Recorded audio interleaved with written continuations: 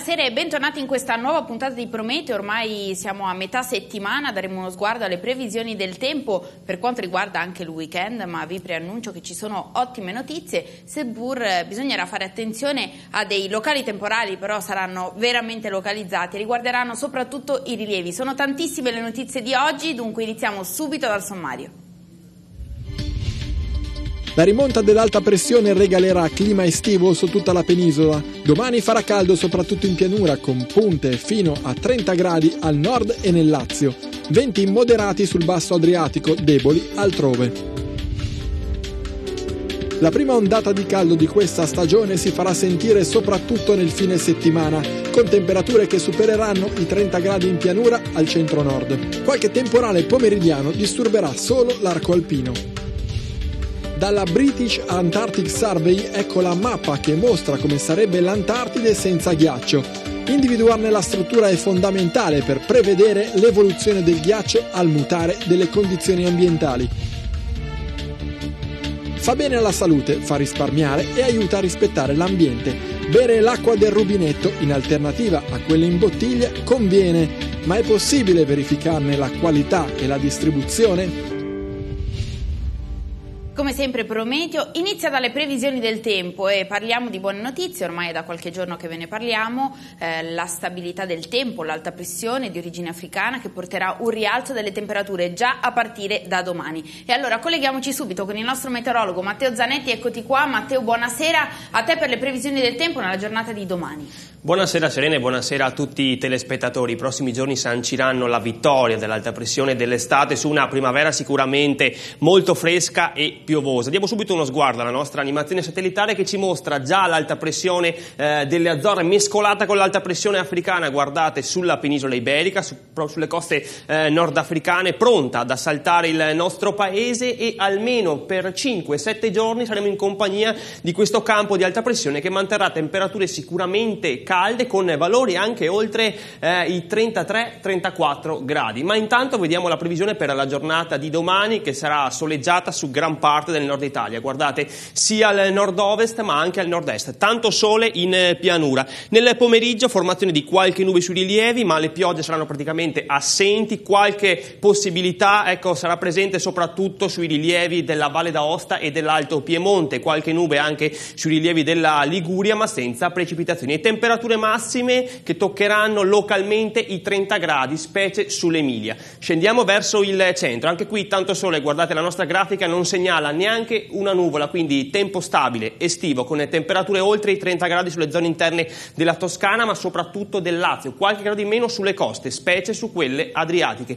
Ci spostiamo velocemente verso il sud, ma anche qui il sole sarà tanto, formazione di nubi pomeridiane lungo l'Appennino, guardate centro meridionale, quello eh, calabro, ma anche qui il rischio di pioggia sarà veramente basso o assente, tanto sole invece guardate sulla Basilicata e sulla Puglia con temperature anche qui in aumento ma inferiori a quelle del nord. Terminiamo con le isole maggiori, tanto sole sulla Sardegna con qualche nube nelle zone interne nel pomeriggio ma assenza di piogge sulla Sicilia, stesso discorso, tanto sole, qualche nube solo sulle zone interne meridionali della regione ma il rischio di piogge sarà veramente basso, temperature anche qui decisamente estive con punte fino a 28-29 gradi proprio nelle zone interne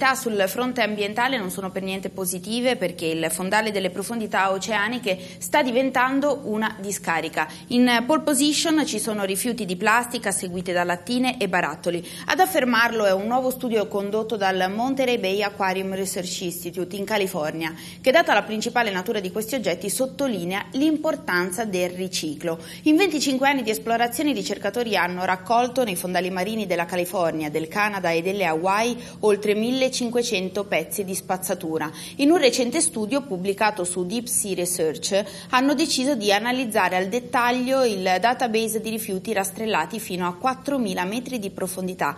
Come era prevedibile, il materiale più diffuso è la plastica. In particolare, più della metà degli oggetti in plastica sono sacchetti. Al secondo posto nella classifica appaiono poi rifiuti in metallo, come lattine di bibite e di cibo in scatola, seguiti dalla spazzatura definita comune, che include attrezzatura da pesca, bottiglie in vetro, cartone, oggetti in legno e anche abbigliamento. Questi oggetti stanno cambiando completamente l'ambiente naturale, in un modo che noi non riusciamo nemmeno a immaginare. Questo ha detto Susan Von Thun, che è coautrice dello studio. Il modo principale per combattere questo problema è quello di evitare che tutta questa roba finisca in mare, smaltendo correttamente e soprattutto riciclando. Anche perché le brutte notizie dal punto di vista dell'ecosistema marino continuano. Questo anche perché ovviamente il nostro comportamento incide notevolmente sugli equilibri del pianeta. Cattive notizie dal mondo dei coralli. Gli scienziati sostengono che molte specie presenti nei mari tropicali potrebbero estinguersi prima della fine di questo secolo.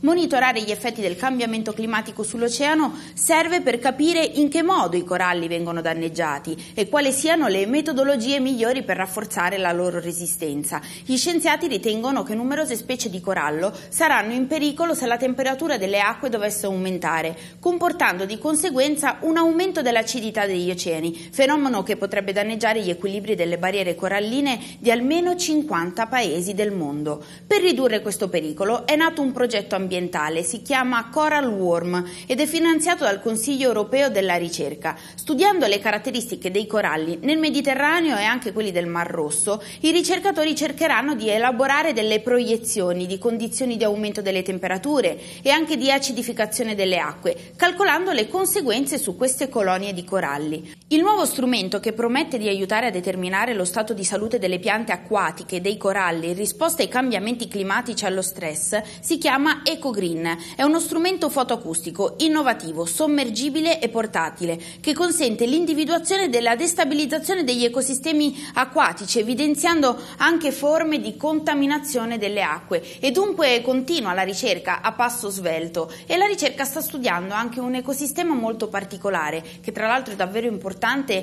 per il cambiamento climatico e quindi l'evoluzione del clima nei prossimi anni. Andiamo in Antartide perché i ricercatori stanno cercando cosa si nasconde sotto i ghiacci. Approfondiamo.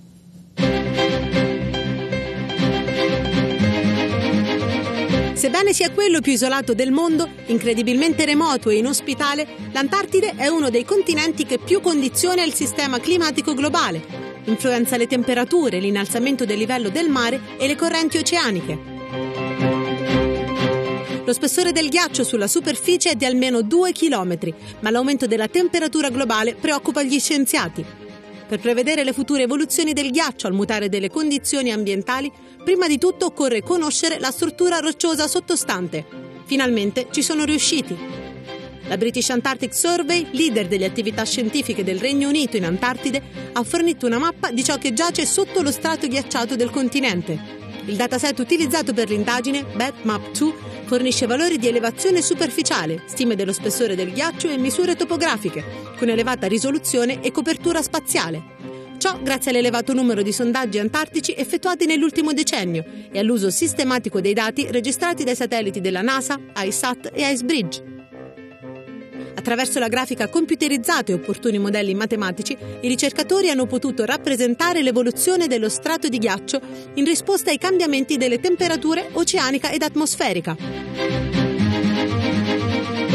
I nuovi dati sono un'importante risorsa, non solo per valutare i rischi ambientali causati dal global warming, ma anche per ampliare le conoscenze scientifiche sugli ambienti subglaciali e sulle dinamiche degli strati di ghiaccio.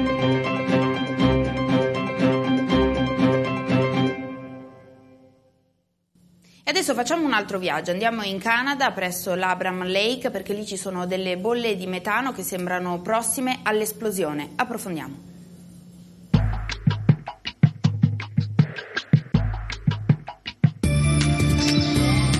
La Brahman Lake è uno specchio d'acqua di origine artificiale situato in Canada. Il lago è nato nel 1972 a seguito della costruzione di una diga che ha creato un bacino lungo 33 km, il cui livello delle acque fluttua di ben 40 metri durante l'arco dell'anno. La sua particolarità sta nel fatto che d'inverno quando ghiaccia dà luogo ad un fenomeno chiamato bolle ghiacciate. La loro formazione è dovuta al rilascio di gas metano durante la decomposizione di materiale organico, quali piante e carcasse di animali. Il metano così prodotto crea delle spettacolari ma pericolosissime bolle che rischiano di scoppiare. Salendo verso la superficie, più fredda rispetto al fondale, questi ammassi di bolle congelano in piccole sacche ricche di gas, costringendo le successive ad accumularsi al di sotto. Delle vere e proprie bombe ad orologeria, pronte a scoppiare alla minima variazione di pressione. Febbraio, infatti, quando le temperature possono oltrepassare i meno 40 gradi centigradi, la miscela gassosa rilasciata dal fondale congela in prossimità della superficie, creando uno spettacolo unico nel suo genere. Un paradiso per i fotografi di tutto il mondo e una passeggiata unica per i più coraggiosi.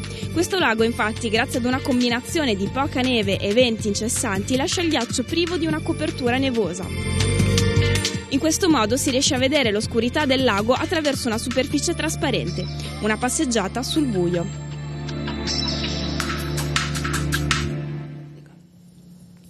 E ora torniamo a parlare di meteorologia, lo abbiamo detto, buone notizie, l'estate che è arrivata con temperature che sfioreranno i 30 gradi anche diffusamente sul nostro territorio. Allora colleghiamoci con il nostro meteorologo Matteo Zanetti per capire esattamente, Matteo, che cosa sta succedendo. Sì, è il caso di regalare un focus a questa prima ondata di caldo di questa stagione estiva 2013 con questa mappa che rappresenta la pressione prevista per domani in quota e che mostra come un gigante, guardate l'alta pressione africana che si protenderà verso le nostre regioni e con la freccia l'aria calda che dalle coste nordafricane e dalla Spagna si porterà verso il nostro paese con temperature calde, bollenti in qualche caso. Ecco, abbiamo zoomato proprio per quanto riguarda il Mediterraneo occidentale con i 35 gradi che verranno superati domani su buona parte delle zone interne della Spagna, però temperature vicine ai 30 gradi anche sulla nostra penisola con punte anche oltre i 30 gradi. Per quanto riguarda la giornata di venerdì avremo un'accentuazione del caldo caldo, sempre per quanto riguarda la Spagna, fino a 36-37 gradi. Per quanto riguarda il nostro paese, punti di 30 gradi a Firenze, ma i 30 gradi verranno anche toccati e localmente superati sulle zone interne della pianura padana. Parliamo soprattutto della bassa Lombardia, dell'Emilia e del Veneto, valori estivi anche al sud. Terminiamo con la giornata di sabato che vedrà probabilmente il superamento della soglia dei 40 gradi sulle zone interne della Spagna, specie nei settori centro-meridionali. Temperature oltre i 25 gradi anche nel sud della Francia e nel nostro paese le temperature saranno ancora una volta molto calde, con punte oltre i 30 gradi nelle zone interne ovviamente della pianura padana, ma anche sulle zone eh, tirreniche. Quindi un caldo che sarà in aumento fino alla giornata di sabato, con punte come detto oltre i 30 gradi, un po' più fresco sulle coste, ma è normale a causa delle brezze.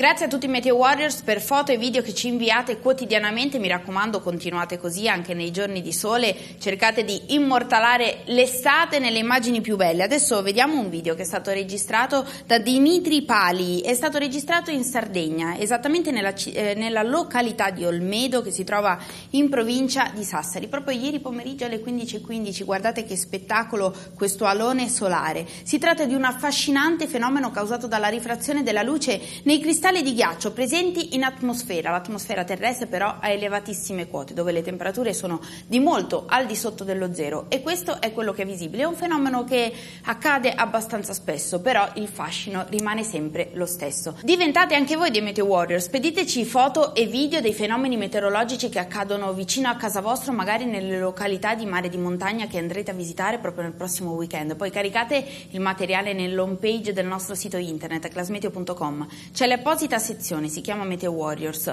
oppure potete venirci a visitare nelle nostre pagine di Facebook. Abbiamo la pagina personale, si chiama Class Meteo, basterà schiacciare un mi piace a questa pagina che vedete qui eh, per avere le previsioni del tempo, sempre aggiornate da noi della redazione. In più potete caricare qui il materiale o scriverci. Se avete bisogno di qualche informazione in più o volete voi dare a noi qualche informazione in più riguardo alla situazione meteorologica a casa vostra. Questa invece che vedete adesso è la nostra pagina personale eh, interamente dedicata alla trasmissione. Noi vi aspettiamo con un mi piace, con suggerimenti opinioni, argomenti che magari vorreste trattare e approfondire insieme a noi. Adesso qualche secondo di pubblicità, ci rivediamo dopo per capire se è meglio bere l'acqua da rubinetto oppure quella in bottiglia. Restate con noi, a fra poco.